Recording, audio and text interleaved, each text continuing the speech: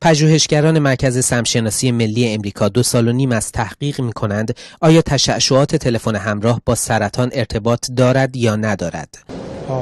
من نمی‌دونم. همان اشعه ای که از موبایل ساطع می شود را 9 ساعت در هفته به سمت موشها فرستادند. آنها یا سرطان مغزی گرفتند یا به تومورهای قلبی و بدخیم دچار شدند. این اشعه ای که به موشها زدیم دقیقا همان اشعه است که از موبایل ها ساطع می شود. فشار شرکت های بزرگ ساخت تلفن همراه در تمام این سالها انقدر زیاد بوده که برای کم نشدن بازار مصرفشان میلیاردها دلار هزینه کردند که نتیجه تحقیقات علیه اشعه موبایل منتشر نشد. شود.